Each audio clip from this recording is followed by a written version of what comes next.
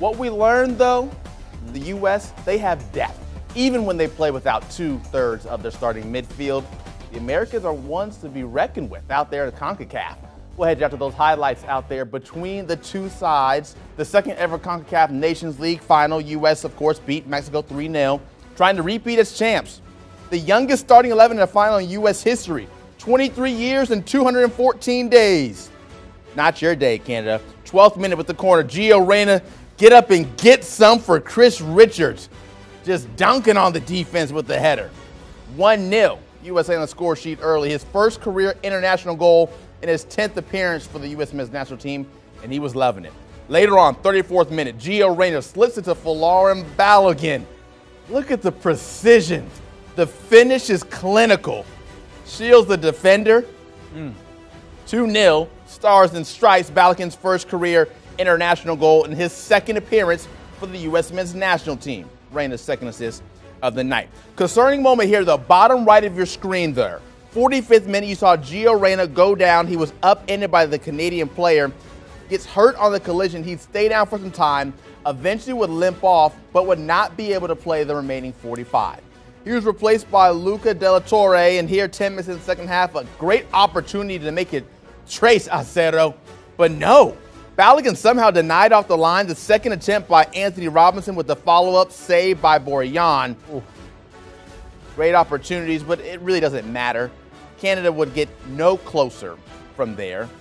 Celebration, let it begin. A limping Gio Reyna, a happy Weston McKennie who was suspended due to the red card that he got against Mexico as BJ Callaghan becomes the first USA manager to win a trophy as an interim. It's the third straight CONCACAF title for the U.S. Reyna was named man of the match, had those two assists. Only American to play in two international finals before turning 21. So you look at the U.S. and the comes the CONCACAF, they're starting to flex their muscle. They were the only CONCACAF team to make it out of the group stage of the 2022 World Cup. They enter the Nations League as the clear favorites. They leave now two-time champs with a Gold Cup title in between. It'll be a quick turnaround on Saturday with the start of this year's Gold Cup. But first, our Jenny Chu with the new kid on the block last night. Ballo, first two matches for the U.S. men's national team, and you really had a CONCACAF experience. They warned you that it would be intense. How was it for you out there? Yeah, I mean, this was a sort of, this was a different game to the one against Mexico, but I mean, it was still intense. I still got a few knocks, but um, this is the sport, you know. I'm used to these things, um, and yeah, I'm just I'm just over the moon that we was able to win today. You score your first goal for the United States in your second game wearing the crest. Talk me through that goal and what you saw from Gio Reyna. Yeah, I mean, as I said uh, after Mexico, uh, it's going to take time to build relationships with my teammates, but um, I don't doubt myself. I mean, I saw Gio with the ball.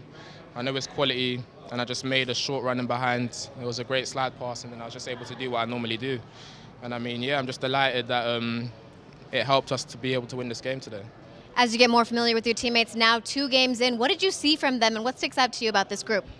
Just the resilience and, and the, the way we stick together, you know. Uh, we saw it um, in the first game, and we're seeing it here we really, really do support each other. I've only been uh, I've only been here a short amount of time, but already I'm uh, I feel a part of it, and I feel a part of something bigger. So I mean, it's a great feeling.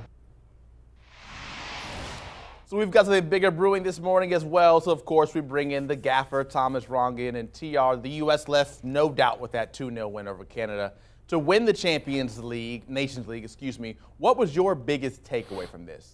Well, as, as Clark is the undisputed king of the U.S. Open, the U.S. men's national team are the undisputed kings of CONCACAF. Canada, Mexico, a near perfect 180 minute 3 0 against Mexico, 2 0 against Canada. Reasons why? Five goals for, none against. You talked about depth. They missed some players, but Scally stepped up. Robinson stepped up. And in midfield, Musah took over when Adams and McKennie weren't there. The biggest, biggest though, influence, Mr. Gio Reyna as the number 10, the playmaker, and then also assisting on a brilliant goal. The first goal, by the way, by Balogun that scored against Canada. And we have a true number nine, babies. We have a true number nine. So depth, the quality, and the youth of this team has carried them into a situation where they are the team to beat in CONCACAF. Gold Cup coming up, though, so that will be another one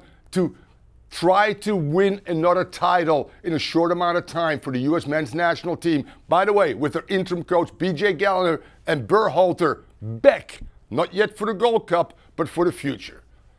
Thanks, CR. Still a lot to get to when it comes to potentially the future of U.S. soccer looking pretty bright. We'll give you some time to kick it with us over here in the main studio. We'll let you make that long walk, and we'll see you in just a bit, TR. What is going on?